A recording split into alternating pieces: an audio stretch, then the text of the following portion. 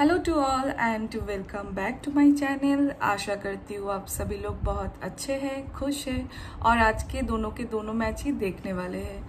जैसे कि आप सभी लोगों को पता है, दोपहर का मैच होने वाला है K K R versus GT team के साथ और शाम का मैच होगा डीसी वर्सेस एस के साथ। द ईडन गार्डन्स एक ऐसा वेन्यू है जहाँ run have absolutely followed this season Each of the last two matches played here has pronounced an aggregate of more than 400 runs और दोनों गेम्स में ही देखा गया है 15.5 मैक्सिमम स्कोर हुआ है यहाँ।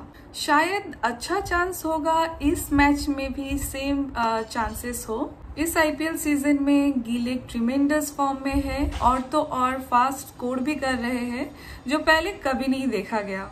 उन्होंने बाउंड्री भी क्लियर कर रहे हैं रेगुलरली और मुझे लगता है कि उनका बहुत अच्छा चांसेस है एक अच्छी इनिंग्स देने का।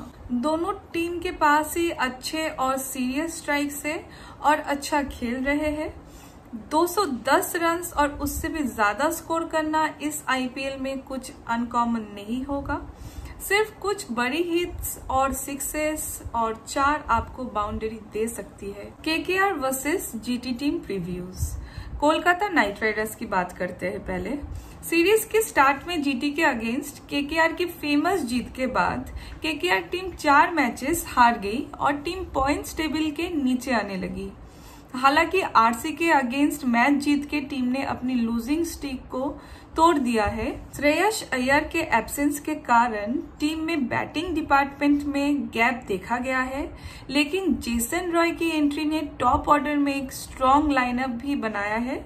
रॉय ने तीन मैचेस में हाफ़ सेंचुरीज बनाई है और उनका फॉर्म इस मैच में भी कंटिन्यू रहेगा, लेकिन रॉय एक इनकंसिस्टेंट प्लेयर भी है। केकेआर का मिडिल ऑर्डर काफ़ी स्ट्रांग दिखाई दे रहा है। वेंकटेश अय्यर और नीतीश राणा कॉन्स्टेंटली स्कोर कर रहे हैं।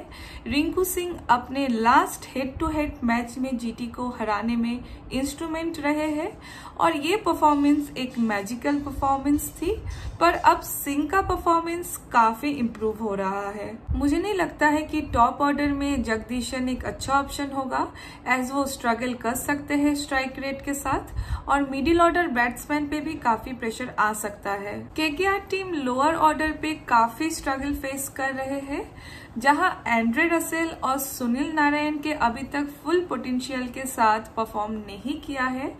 रसेल को पर्टिकुलरली टाइम नहीं मिला है जितना उनको मिडिल ऑर्डर पे ज़रूरत है। बॉलिंग डिपार्टमेंट में स्पिनर्स के एक्सीलेंट फॉर्म देखा गया है।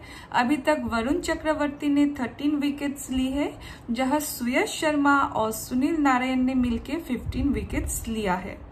इस सीज़न के केकेआर के टीम के लिए सुनील नारायण काफ़ी एक्सपेंसिव नज़र आ रहे हैं। उनकी प्ले में लैक ऑफ़ कॉन्फिडेंस देखा जा रहा है। हालाँकि यूथ प्लेयर सुयश शर्मा इस लेवल में परफेक्टली फिट होते हैं। सीमस भी बहुत ज़्यादा स्ट्रगल कर रहे हैं और शार्दुल ठाकुर ने अपनी लास्ट पाँच मैचेस में दो विकेट्स और उमेश यादव ने आठ मैचेस में से सिर्फ़ एक विकेट्स ली है। इस सिनेरियो में केकेआर टीम अपनी बैटिंग पे भरोसा रख के मैच जीतने की कोशिश करेंगे। गुजरात टाइटंस। गुजरात इस सीरीज़ की कंसिस्टेंटली परफॉर्मिंग टीम रही है और पॉइंट्स टेबल में टॉप फोर में है। जीटी की सक्सेस की क्रेडिट जाता है टीम वर्क को। टीम के हर प्लेयर अभी तक विनिंग मैचेस में कंट्रीब्यूट कर रहे हैं। वैसे तो Shubman Gill top order batsman बने हुए हैं। और रिधिमन शाह, साई सुदर्शन और विजय शंकर भी अच्छा सपोर्ट मिल रहा है। हार्दिक पांड्या थर्ड ऑर्डर पे लास्ट थ्री मैचेस खेल रहे हैं और उनकी स्ट्रेटेजी स्पिन हिटर्स के आने से पहले इनिंग्स की टोन सेट करने में सक्सेसफुल रही है। डेविड मिलर, अविनव मनोहर और राहुल तिवातिया ने भी लास्ट मैच में भी अच्छी बैटिंग का प्रदर्शन दिया है ओवरऑल टीम की बैटिंग लाइनअप गुड शेप में नज़र आ रही है।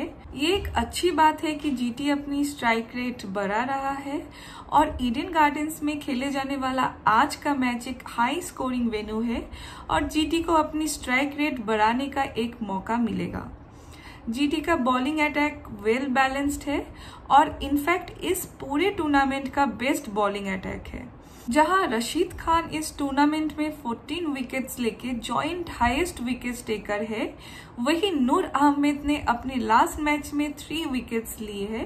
मोहम्मद शामी नई बॉल के साथ एक्सीलेंट है और मोहित शर्मा और हार्दिक पांड्या की बॉलिंग इकोनॉमिकल रही है। मोहित शर्मा डेथ ओवर्स पे अच्छी बॉलिंग कर रही है और जीटी ने राइट कॉम्बिनेशन ऑफ़ प्लेयर्स का फॉर्मूला क्रैक कर लिया है।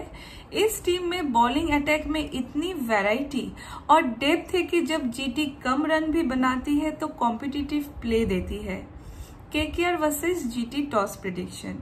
Eden ground की टॉस जीतने वाली हर टीम इस सीज़न पहले बैटिंग चूज़ किया है और आज भी हम ये उम्मीद कर सकते हैं। पीच एंड कंडीशंस ईडन की पीच बैटिंग एंड बैट्समैन के लिए इस सीज़न एक्सीलेंट है।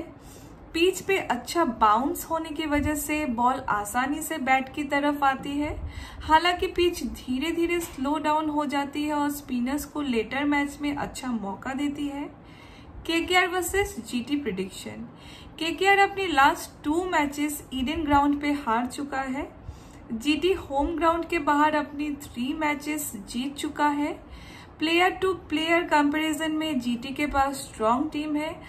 और हम इजीली ये प्रिडिक्ट कर सकते हैं कि Gujarat Titans to win the match I hope कि आपको मेरा प्रिडिक्शन अच्छा लगा होगा। प्रिडिक्शन अगर अच्छा लगा है तो लाइक बटन दबा दीजिए और मैच कुछ ही देर में शुरू होने वाला है तो फटाफट मैच देखिए।